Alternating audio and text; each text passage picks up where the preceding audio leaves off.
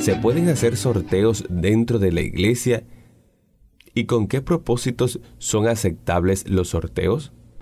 Si los sorteos son para comprar aparatos de sonido, para la construcción del templo o la casa pastoral, para la necesidad de algún hermano que tiene la casa, se le está cayendo.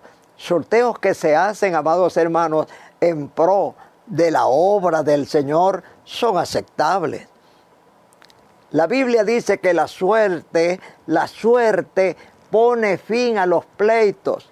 La tierra de Israel le fue entregada a las tribus del pueblo hebreo por medio de sorteo.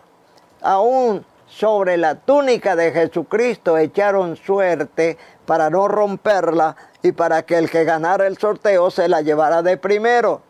No es pecado hacer suerte dentro del pueblo de Dios.